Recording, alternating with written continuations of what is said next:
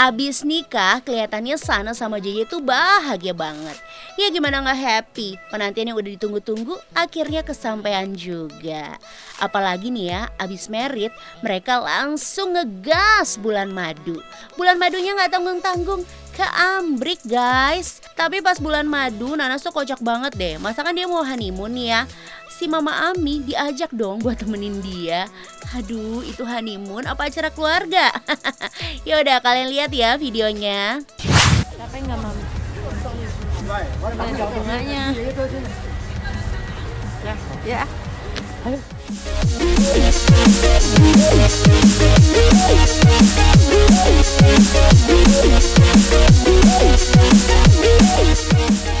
Aduh Nanas, bulan madu ngajak Mama Ami. Hmm, katanya sih Nanas masih takut, Bo, tidur sendiri.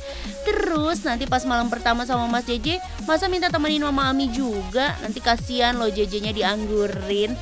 ya kalau soal itu sih kayaknya Mama Ami udah ngerti kali ya. Pastinya Mama Ami pilih nggak tidur sama mereka berdua.